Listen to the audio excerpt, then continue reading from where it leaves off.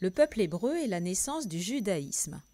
Nous connaissons l'histoire des Hébreux grâce à la Bible hébraïque qui nous raconte que les Hébreux sont apparus vers le deuxième millénaire avant Jésus-Christ. Leur histoire est liée à de grandes figures. Certaines n'ont pas une existence attestée, mais jouent un grand rôle dans l'histoire des Hébreux. C'est le cas d'Abraham, qui a conclu une alliance avec Dieu, appelée Yahvé. Dieu lui offre la terre promise de Canaan. L'alliance est le fondement de la religion des Hébreux. Le judaïsme, première religion monothéiste de l'histoire, est né. Autre grande figure, Moïse. Après une famine qui frappe Canaan, les Hébreux trouvent refuge en Égypte, mais ils y seraient devenus esclaves. Moïse reçoit alors le message de Dieu qui lui demande de guider les Hébreux en dehors d'Égypte pour revenir à Canaan. C'est durant cet exode que Moïse va séparer la mer Rouge en deux afin de permettre aux Hébreux poursuivis par les Égyptiens de passer. Puis, sur le mont Sinaï, Moïse reçoit les dix commandements.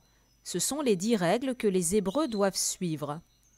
Abraham et Moïse ont reçu un message de Dieu à diffuser aux hommes. Ce sont des prophètes. Puis vint le temps des rois.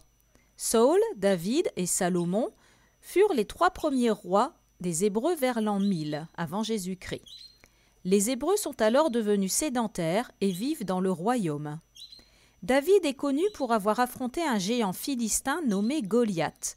David, beaucoup plus petit, blesse Goliath grâce à sa fronde et le tue. David fait de Jérusalem la capitale du royaume des Hébreux.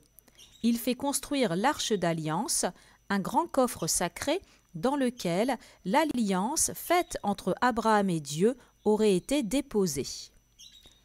Salomon est également un roi juste. Il est connu pour avoir rendu un célèbre jugement. Deux femmes se disputaient pour un enfant. Chacune disait être la mère du bébé. Salomon ordonne qu'on coupe l'enfant en deux. La véritable mère supplie alors Salomon de laisser l'enfant vivre. Le roi comprit par cette ruse que la femme était la véritable mère du bébé. Salomon a construit le premier temple de Jérusalem dans lequel l'arche d'alliance est placée. Malheureusement, après la mort de Salomon, les Hébreux se divisent.